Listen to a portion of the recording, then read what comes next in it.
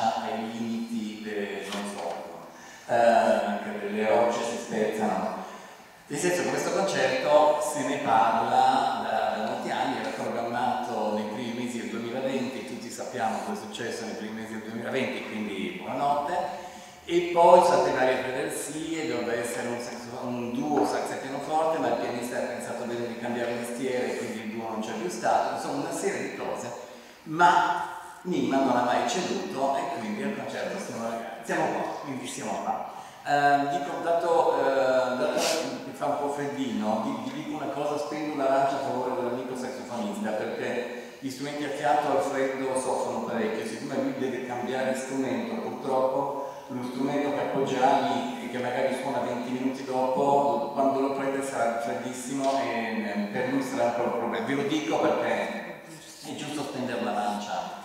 Ok, uh, quindi intanto grazie infinite a Nina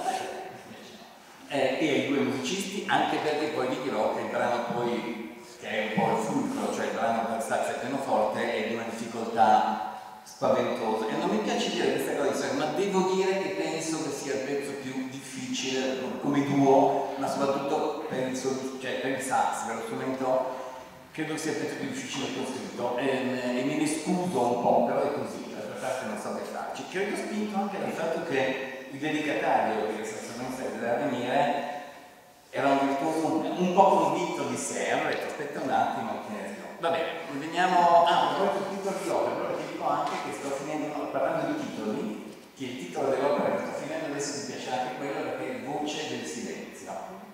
Quindi... Um, no, okay. um, 24? 24, sì, uh, 31 ottobre 24 allora, venendo, sì, Mimma dice, no, ma tu parli della tua musica, però siccome il programma del concerto di stasera l'abbiamo deciso, montato, ne abbiamo parlato tante volte, mi sembra molto brevemente, però parlate anche della qualità delle scelte, mi sembra giusto. Eh, e quindi, se notate, eh,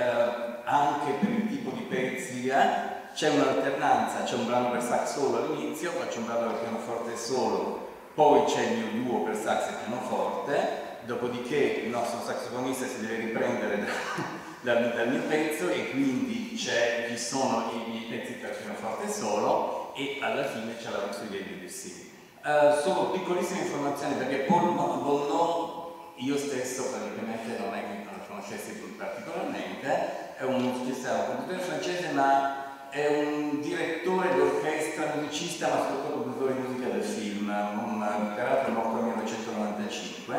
la cosa interessante di questo capriccio per sax solo è che vi suonerà un po', infatti questo, questo musicista ha fatto molta musica da film, suona un po' questo senso di valzer che ha, è molto francese, forse vorrebbe essere italiano, ma a mio parere suona un po' Nino Rota, suona un po' certa musica da film di Nino Rota degli anni 50, eh, con, molta, molta, molto stile, con molta eleganza effettivamente. Passando a pure piano di Debussy, sono tre movimenti, ha tenuto presente che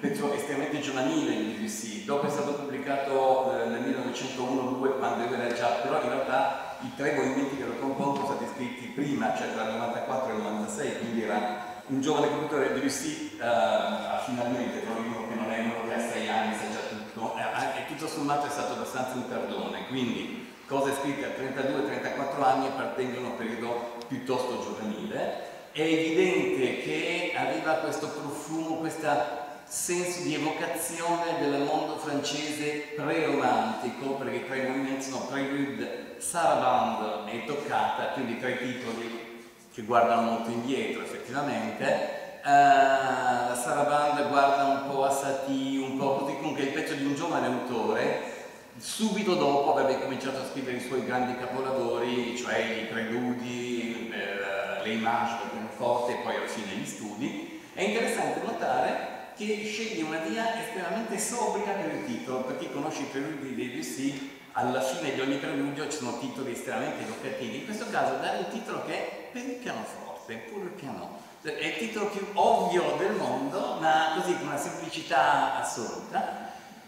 Parlando dell'altro brano che, che, non mi concede, cioè di cui non sono autore io, cioè Rapsodia per sax e pianoforte, è, è, simpatico dire che è il frutto di una commissione fatta da una saxofonista americana, Debussy, ma Debussy che non aveva un bellissimo carattere, non era una persona semplice. Eh, la commissione è del 1901, ma un po' a lui il sax non piaceva tanto. Un po' lui ha ascoltato questa sassofonista e non gli piaceva neanche la sassofonista, ma d'altra parte non aveva intenzione di rinunciare a una buona commissione, diciamo, sul piano economico, ma di fatto ci ha messo dieci anni, cioè tirava là, eh, non, non, le dava questo pezzo e alla fine la commissione dell'1 ma il pezzo del 1911. Dopodiché è un pezzo di un grande Debussy in ogni caso, eh, al di là della sua simpatia o meno per strumento e strumentista, è uno dei caposaldi della letteratura per saxofono e pianoforte e l'abbiamo pensato nel pezzo finale perché è giusto così per un duo sax e pianoforte.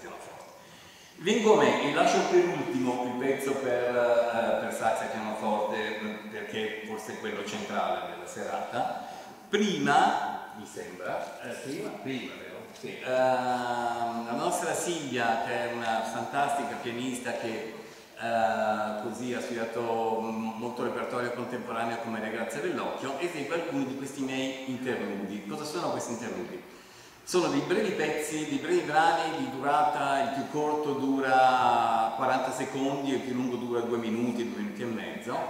Mi interessa più che altro dirvi perché, come e perché li ho scritti, perché dice qualcosa di, di come, anche di come intendo io il comporre. Era il 2000, infatti se guardate le date di questi interludi, cioè scritto 2000-2006 e uno dice ma ci hai messo 6 anni a scrivere in quei sei anni ho fatto un sacco di altre cose, ma nel 2000, io avevo 44 anni, c'è stato un momento in cui mi sono sentito, ho sentito su di me un rischio di cui, di cui spesso, su cui spesso puntavo il dito ad esempio agli allievi, e cioè mi sono sentito sull'orlo di una sorta di quello che chiamo autoacademismo, cioè eh, quando uno assume una certa esperienza rischia il momento in cui per fare una certa cosa sa già come fare, e cioè tende a rifarsi. E secondo questo penso che sia la morte del compositore, cioè eh, abituarsi a fare le cose nel modo che sai già. Avevo deciso di fare eh, una, una, cosa per me, cioè da, da, non pubblicare una cosa per me, e cioè di fare, avete presente quando un pittore che deve, parlo di pittori magari della storia, che, che, so, che doveva dipingere una mano prima disegnava la mano in 47 posizioni diverse e poi le pingeva nella 48esima, ma in qualche modo aveva fatto amicizia con, con, con l'oggetto. Okay. Diciamo che erano cosiddetti studi di figura. Ecco, questi interludi sono, sono degli studi di figura, cioè ho deciso di scrivere in piccoli pezzi, proprio impedendoli di svilupparli, dicendomi non devo superare i due minuti. Ognuno ha un forte centro di interesse, Um, vi faccio un esempio, il secondo di quelli che ascolterete, che è il numero 8, è semplicemente un immenso crescendo di armonie che iniziano centralissimo e pianissimo e poi cominciano a vibrare, a allargarsi e arrivano a un potentissimo, fortissimo finale. Quindi è un unico tragitto del pianissimo fortissimo, eh, cioè nuclei di idee molto semplici, molto, no, una cosa sola, in modo che ogni pezzo avesse un centro espressivo. Um, non ve li descrivo uno a uno per, per, non metterci troppo tempo, vi dico solo una cosa perché sennò qualcosa vi sorprenderà. A Silvia piace che non è la prima volta che lei fa una scelta di interludi e ogni volta le piace, devo dire di malgrado, perché non lo farei, ma non avevo detto che io non lo farei, io devo farlo, eh, perché no, è lei che suona, finisce sempre con il numero 14. Che cos'è questo numero 14? Si intitola Omaggio Mendelssohn. Perché? Uh, assieme all'amico Roberto Prasseda, Prasseda, pianista, che ha fatto un grande lavoro sui frammenti incompiuti di Mendelssohn, che sono centinaia e centinaia sparsi in biblioteche in tutta Europa, um, lui io ho già fatto una cosa per lui molto più ampia su un lunghissimo frammento per violino e pianoforte di, di Mendelssohn,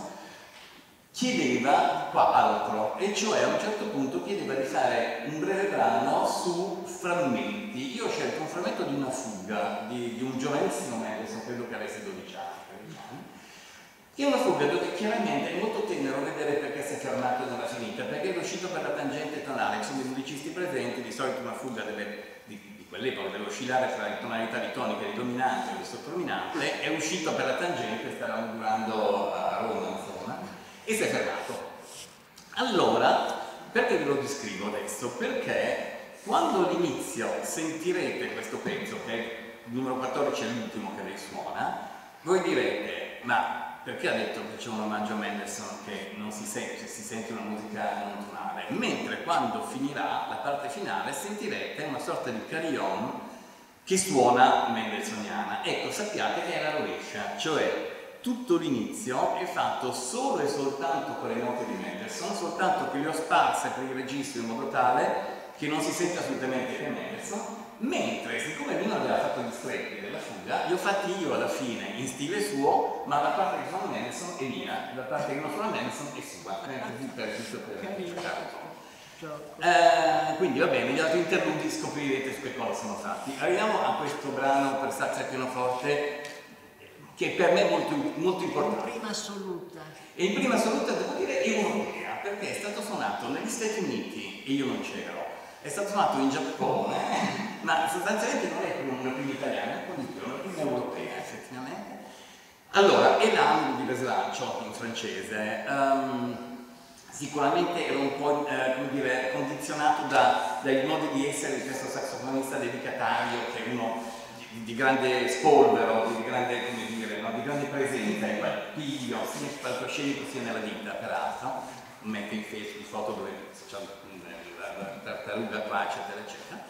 Ehm, allora ho pensato di fare un pezzo che fosse globalmente, il pezzo dura una dozzina di minuti, diciamo, 10-15 minuti,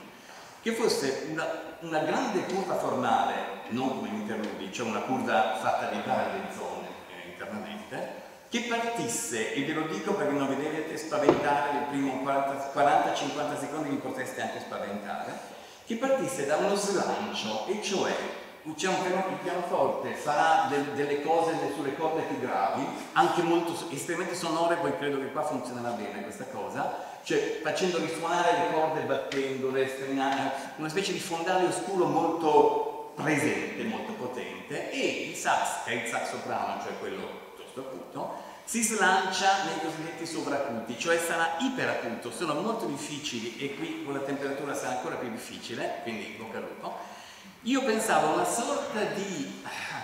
da una parte una specie di quasi di uccello che lancia un richiamo, ma dall'altra parte pensavo anche a una sorta di grande grido, di grido che in questi giorni mi sembra molto significativo, una specie di grido anche di,